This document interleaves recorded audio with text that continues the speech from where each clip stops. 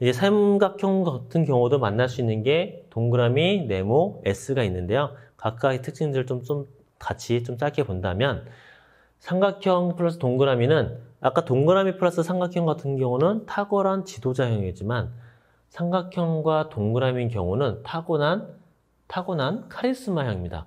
왜냐하면 주 기질이 뭐고 이 보조 기질이 뭐냐에 따라서 동일한 동그라미 세모, 세모 동그라미 어떻게 보면 같은 거라고 생각할 수 있겠지만 그리고 가지고 있는 주 기질은 서로 다르기 때문에 그러한 내용들이 조금씩 다를 수 있다라는 것을 꼭 명심해 두셨으면 하는 부분이 있겠고요. 그래서 삼각형 동그라미인 사람들은 움직이는 에너지 덩어리다.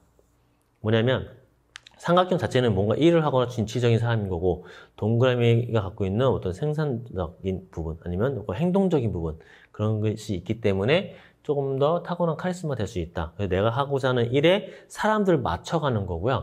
동그라미 플러스 세모 같은 경우는 내가 사람들과 좋아하고 사람들과 함께 하고자 하는 데 있어서 내가 또 삼각형의 기질을 갖고 있기 때문에 좀 더 뭔가 할 수 있는 뭔가 이끌어갈 수 있는 그런 부분이라고 볼 수가 있겠습니다. 그런 약간 차이점들을 조금씩 좀 더 알아두면 되게 도움이 될 것이라고 볼 수 있겠고요. 그래서 삼각형과 동그라미 쓰는 사람들은 가장 생산적인 사람이고 뭔가 도전에 인생의 보람을 좀 많이 느낄 수 있다. 그렇지만 반대로 본다면 약간 두려움이나 보완을 해야 되는 본다면 적개심은 약간 타의 추정을 좀 불허한 부분이 있고 가족들에게 큰 상처를 줄 수 있기 때문에 어, 좀 더 사람들을 대하는 데 있어서 어, 나보다는 좀 더 타인을 바라보는 시선이 좀 더 강해야 한다, 좀 있어야 된다라는 부분이 될 수 있겠고요. 그래서 자신의 목적을 위해 수단과 방법을 가리지 않기 때문에 어, 좀 더 건강하게 살아가면서 먼저 타인을 생각할 수 있는 그러한 부분이 필요하다라고 볼 수가 있겠습니다. 그 세모, 네모인 사람들은 약간 성실의 최고봉이다 라고 볼 수 있는데 아마 좀 감이 올 것입니다. 삼각형과 네모 같은 경우도 서로의 장점 또는 서로의 특징들을 보게 된다면 아, 왜 성실의 최고봉일까? 라를 좀 알 수 있겠는데요.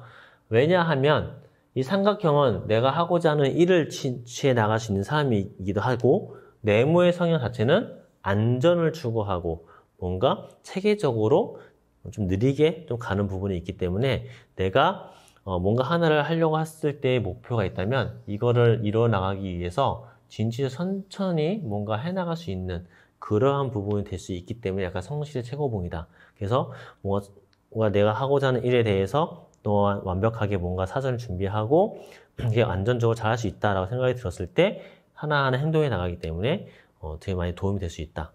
크게 될 수 있다. 라는 것을 볼 수 있겠고요. 그러다 보니까 약간 장기적인 계획을 잘 달성할 수 있다. 그러다 보니까 약간 뛰어난 능력을 좀 지닐 수 있고요.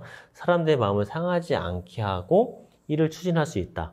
왜냐, 네모는 특징이 지식도 있지만 공동체도 있잖아요. 그래서 그 공동체 자체를 바라본다면 좀 더 이해가 될 수 있겠다라고 볼 수 있고 마찬가지 삼각형 네모도 마스크 기질이다라고 볼 수가 있겠습니다.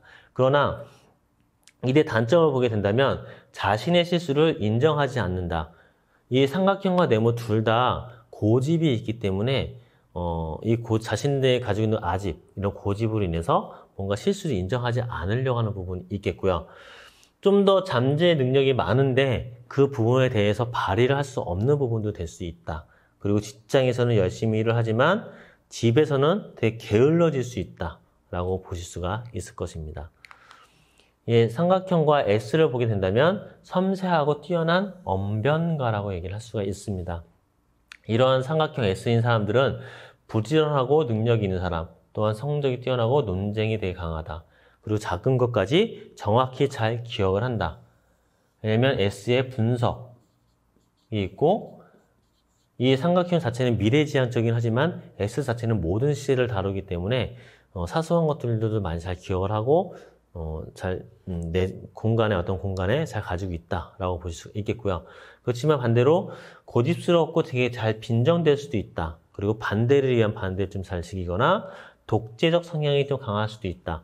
삼각형과 S는 둘 다 개인주의적인 게 좀 강하기 때문에 약간 독재적 성향을 좀 보일 수 있다라는 부분이 될 수가 있습니다.